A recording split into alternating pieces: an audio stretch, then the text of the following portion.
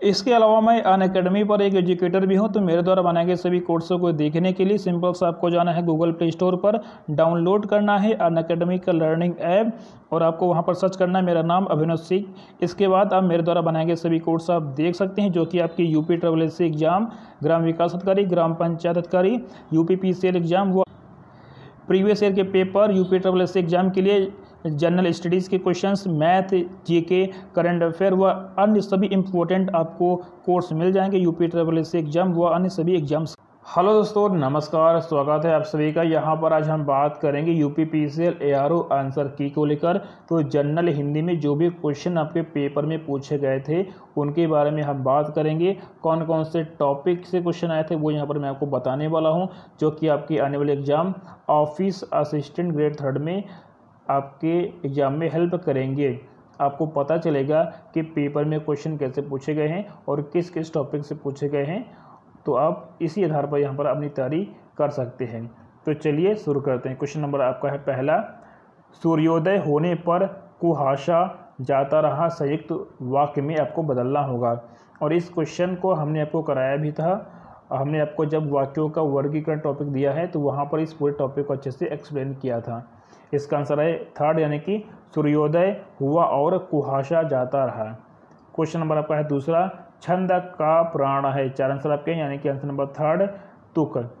आगे यहाँ पर है, ये पूरा आपका वाक्य यहाँ पर लिखा हुआ है। यहाँ पर क्या है, निष्पत्ति किस आचार्य का विचार है? तो काफ़ी डीपली पूछा गया है आंसर नंबर थर्ड यानी कि भरत मुनि क्वेश्चन नंबर आपका है फोर अपूर्ण क्रिया के लिए जो संज्ञा अथवा विशेषण शब्द प्रयुक्त होते हैं, उन्हें बोलते क्या हैं? तो उन्हें बोलते हैं पूरक कहते हैं। आंसर नंबर आपका फ़र्स्ट रहेगा राइट आंसर क्वेश्चन नंबर आपका है फाइव केवल मुँह से बोले जाने वाले सस्वर वर्णों को क्या कहते हैं? तो चार आंसर यहाँ पर आपके हैं, इसे बोलते हैं निर्नुनाशिक कहते हैं। क्वेश्चन नंबर आपका है सिक्स और यहाँ पर इस क्वेश्चन का आंसर आपका है ऑप्शन नंबर फ़र्स्ट आगे हम बात करेंगे ये पूरा आपका पंक्ति लिखा हुआ है और आपको बताना है इसमें कौन सा अलंकार है। आंसर नंबर फ़र्स्ट यानी कि श्लेष अलंकार यहाँ पर होगा।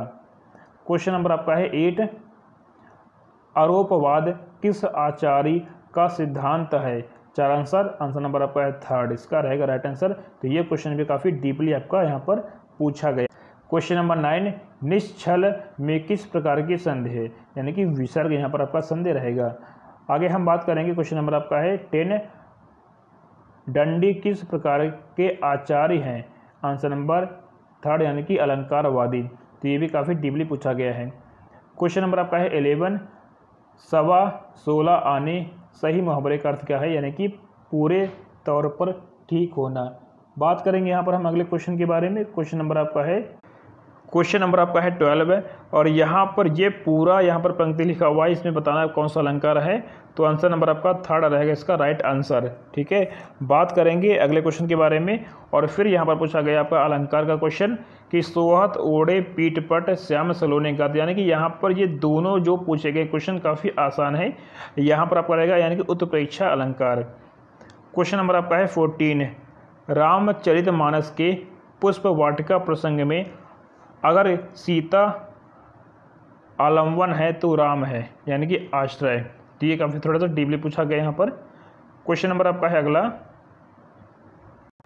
क्वेश्चन नंबर आपका है फिफ्टीन। यहाँ पर क्या है? ये पूरा क्वेश्चन आपका यानी कि पंक्ति लिखी हुई है। आपको बताना इसमें कौन सा छंद है? तो यहाँ पर आपका दोहा छंद। तो ये भी क्वेश्चन आपका आसान पूछा गया था। आगे हम बात करेंगे, कौन सा तद्भव शब्द नहीं है? चार आंसर आपके लिखे हुए हैं। आंसर नंबर फोर यानी कि सर्प। क्वेश्चन नंबर आपका है सेवनटीन। ये पूरी पंक्ति यहाँ पर आपकी दी गई है और बताना है से कौन सा आपका छंद है। आंसर नंबर फोर, यानी कि वसंत तिलिका। तो ये भी आपका डीपली पूछा गया क्वेश्चन है। क्वेश्चन नंबर आपका है एट्टीन जिसकी उपमा दी जाए, उसे बोलते हैं क्या? उसे बोलते हैं उपमेय। क्वेश्चन नंबर आपका है उन्नीस। इनमें से कौन सा तत्पुरुष समास नहीं है? आंसर नंबर पहले, यानी कि परमेश्वर। क्वेश्चन नंबर आपका है ट्वेंटी जो पूछा गया है, या किस प्रकार का यहाँ पर ध्वनि है? तो चार आंसर आपके यानी कि तालव्य, आपका रहेगा राइट आंसर क्वेश्चन नंबर आपका है ट्वेंटी वन, शुद्ध वर्तनी वाला शब्द यहाँ पर आपको बताना है। तो आंसर नंबर आपका फ़र्स्ट, इसका रहेगा राइट आंसर क्वेश्चन नंबर आपका है ट्वेंटी टू, दुगना और दोहरा किस प्रकार के विशेषण हैं? आंसर नंबर आपका है फ़र्स्ट, यानी कि आवृत्ति वाचक. क्वेश्चन नंबर आपका है ट्वेंटी थ्री छंद शास्त्र में पाद छंद का कौन सा भाग है? यानी कि लास्ट यानी कि चतुर्थ भाग है। क्वेश्चन नंबर आपका है ट्वेंटी फोर श्रवण का संधि विच्छेद यहाँ पर क्या होगा?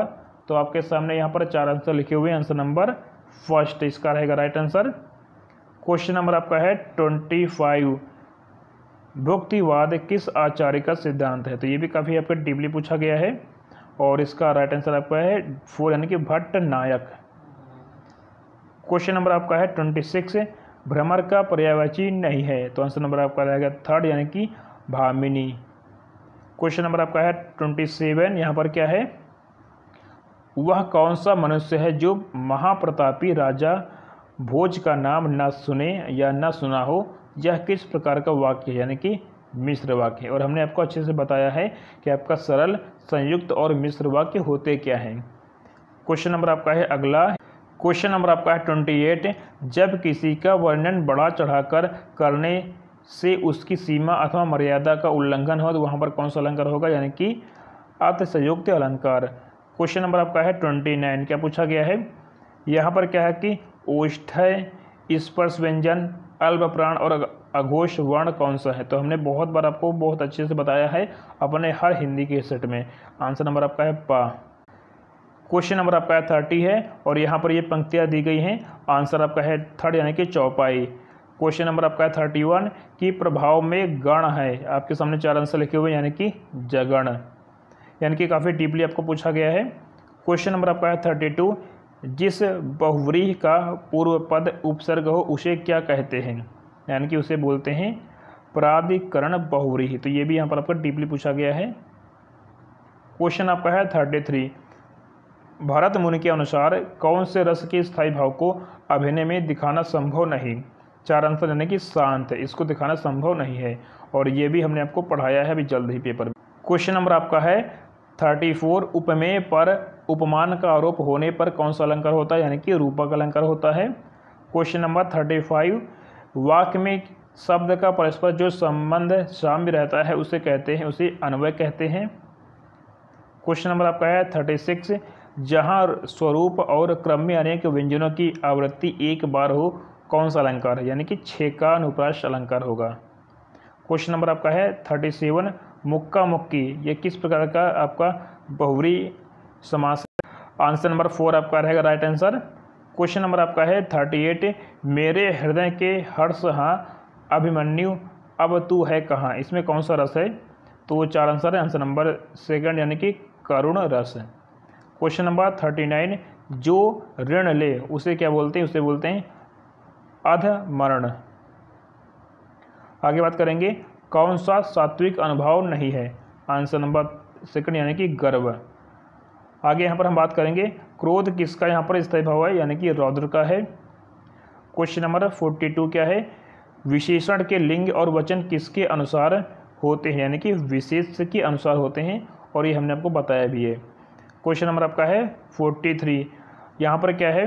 यहाँ पर आपको बताना है, क्या है क्वेश्चन कि उस काल मारे क्रोध के तन कापने उसका लगा, मानो हवा के ज़ोर से सोता हुआ सागर जगह इसमें भाव क्या है? यानी कि अनुभव। क्वेश्चन नंबर आपका है फोर्टी फोर। यहाँ यहाँ पर क्या है कि क्रिया अथवा धातु के अंत में प्रत्यय प्रयुक्त होकर जो शब्द बनता है उसे बोलते क्या है? तो आंसर नंबर आपका फ़र्स्ट, इसका रहेगा right answer. Question number forty five, चौपाई किस प्रकार का छंद है? यानी कि मात्रिक सम छंद है। क्वेश्चन नंबर क्वेश्चन नंबर आपका है फोर्टी सिक्स और यहाँ पर आपको बताना इसमें से कौन सा अलंकार है।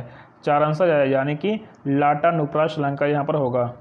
क्वेश्चन नंबर फोर्टी सेवन, वे निर्धनों को अन्न दिया करते हैं। मैं दान मैं धन दान दिया करता हूँ। इसमें वाक्यों के भेद बताएँ। तो आंसर नंबर आपका है थर्ड क्वेश्चन नंबर आपका है फोर्टी एट। किसी वस्तु की प्राप्ति दर्शन आदि की उत्कृष्ट इच्छा को बोलते क्या हैं? तो आंसर नंबर आपका रहेगा इसका फोर रहेगा, राइट आंसर। क्वेश्चन नंबर आपका है फोर्टी नाइन, यानी कि तुम आओगे और श्याम जाएगा। इसमें से किस प्रकार की अव्यय का प्रयोग हुआ है? यानी कि विकल्प बोधक। तो ये क्वेश्चन भी आपका आसान है। आगे बात करेंगे, जो न्याय को अच्छी तरह से जानता हो, उसे बोलते क्या हैं? उसे बोलते हैं, न्यायिक कहते हैं। क्वेश्चन नंबर आपका है फिफ्टी वन जिसमें प्रथम चार चरण रोला के और शेष दो चरण उल्लाला के हों, उसे कहते क्या है? उसे बोलते हैं आंसर नंबर फोर यानी कि छप्पा कहते हैं। क्वेश्चन नंबर फिफ्टी टू कौन सा है? कि कौन सा तत्सम शब्द नहीं है? आंसर नंबर आपका पहला रहेगा राइट राइट आंसर इसका रहेगा। क्वेश्चन नंबर आपका है फिफ्टी थ्री है, यण स्वर संधि में नहीं है। Answer number second question number आपका है फिफ्टी क्वेश्चन नंबर आपका है फिफ्टी फोर साधुओं की संगत से बुद्धि सुधरती है, संगत से इनमें से कौन सा कारक का यूज़ हुआ है? आंसर नंबर थर्ड यानी कि करण कारक। तो सभी क्वेश्चन आपके टॉप के मोस्ट इंपॉर्टेंट हैं आपके आने वाले एग्ज़ाम्स के लिए। क्वेश्चन नंबर फिफ्टी फाइव रस के कितने अवयव होते हैं? यानी कि चार आपके रस के अवयव यहाँ पर होते हैं। क्वेश्चन नंबर आपका है फिफ्टी सिक्स कि छंद्र में मात्रा और वर्णों की गणना को क्या कहते हैं? यानी कि इसे संख्या बोलते हैं। क्वेश्चन नंबर आपका है फिफ्टी सेवन दीर्घ स्वर, संधि, छाटिए। यानी कि गिरीन्द्र आपका रहेगा राइट आंसर क्वेश्चन नंबर आपका है फिफ्टी एट स्पर्श, दंत्य अघोष और महाप्राण, वर्ण कौन सा है? चार आंसर आपके हैं, यानी कि आंसर नंबर थर्ड यानी कि था। आगे यहाँ पर हम बात करेंगे। क्वेश्चन नंबर आपका है अगला। कि सारी बीच नारी है कि नारी बीच सारी है? सारी ही की नारी है कि नारी ही सारी? इसमें कौन सा अलंकार है? तो काफ़ी आसान है, बहुत बार आप लोगों ने इसको पढ़ा भी होगा। यानी कि संदेह अलंकार। क्वेश्चन नंबर आपका है सिक्सटी भवभूति ने रस राज की उपाधि किस रस को दी है? चार आंसर आंसर नंबर फोर यानी कि करुण रस आपका यहाँ पर रहेगा राइट आंसर ये सभी क्वेश्चन टॉप के मोस्ट इंपॉर्टेंट है आपके आने वाले एग्ज़ाम्स के लिए और आपको यहाँ पर इनको अच्छे से देखना भी है। जैसे कि पेपर में आप अच्छा यहाँ पर कर सकते क्वेश्चन नंबर आपका है सिक्सटी वन जहाँ उपमेय और उपमान तथा उनके साधारण धर्मों से बिंब, प्रतिबिंब भाव हो, वहाँ कौन सा अलंकार होता है? तो आंसर नंबर आपका फ़र्स्ट इसका रहेगा राइट आंसर क्वेश्चन नंबर आपका है क्वेश्चन नंबर दोस्तों यहाँ पर आपका है सिक्सटी टू। अर्थ अलंकारों की चर्चा भाषा भूषण में किसने की है? चार आंसर यानी कि जसवंत सिंह के द्वारा यहाँ पर किया। क्वेश्चन नंबर आपका है सिक्सटी थ्री और इस क्वेश्चन का जो राइट आंसर है आपका आंसर नंबर थर्ड यानी कि युग्मा का ध्वनि। क्वेश्चन नंबर आपका है सिक्सटी फोर। पौ बारह होना का अर्थ यहाँ पर क्या यानी कि खूब लाभक होना। क्वेश्चन नंबर आपका है सिक्सटी फाइव यानी गहरा का आपका है पर्यावची का होगा, यानी कि छिछला होगा। क्वेश्चन नंबर सिक्सटी सिक्स, कौन सा स्त्रीलिंग वाचक शब्द है? चार आंसर आंसर नंबर फोर यानी कि संतान। क्वेश्चन नंबर आपका है सिक्सटी सेवन, जहाँ एक वाक्य दूसरे की संभावना पर निर्भर करता है, उसे बोलते क्या है? उसे दोस्तों बोलते हैं संकेत वाचक वाक्य से कहते हैं। क्वेश्चन नंबर आपका है सिक्सटी एट रस के संबंध में कौन सा आपका असत्य है? यानी कि आंसर नंबर आपका जो फ़र्स्ट है, ये आपका रहेगा असत्य, बाकी सारे यहाँ पर आपके हैं सत्य। क्वेश्चन नंबर सिक्सटी नाइन निश्चयवाचक सर्वनाम का बहुवचन पर सर्ग सहित रूप होगा। आंसर नंबर फ़र्स्ट यानी कि इन्होंने। क्वेश्चन नंबर आपका है लास्ट यानी कि सेवेंटी जहाँ शब्दों की आवृत्ति हो और प्रत्येक बार भिन्न अर्थ प्रकाशित हो, वहाँ पर कौन सा अलंकार होता है? आंसर नंबर सेकंड, यानी कि यमा अलंकार होता है। दोस्तों, ये आपके सत्तर क्वेश्चन है जो कि पूछे गए हैं यूपी पी सी के एग्ज़ाम में। उम्मीद करते हैं कि आपको ये पूरा लेसन पूरा सेशन पसंद आया होगा। इसी तरह के क्वेश्चन पेपर में आपके पूछे गए हैं और आपका जो ऑफ़िस असिस्टेंट ग्रेड थर्ड का एग्ज़ाम है आपके इसी तरह के क्वेश्चन पेपर में पूछे जाएँगे, लेकिन आपको यहाँ पर पूरे अपने जितने भी आपका पूरा जो कोर्स है और जितने भी टॉपिक हैं, सभी टॉपिक को आपको अच्छे से करके जाना है, जिससे पेपर में कोई भी टॉपिक आए और आपको यहाँ पर अच्छे से उसे कर लेना है। तो उम्मीद करते हैं कि आपको ये पूरा लेसन पसंद आया होगा। बाय बाय दोस्तों टेक केयर सी यू तेरह तारीख के सारे क्वेश्चन यहाँ पर हो गए कंप्लीट रीजनिंग और और इंग्लिश यहाँ पर आपका अभी बाकी है। इसके अलावा पंद्रह तारीख का जो क्वेश्चन पेपर है, उसके बारे में हम बात करेंगे अगले वीडियोज़ में।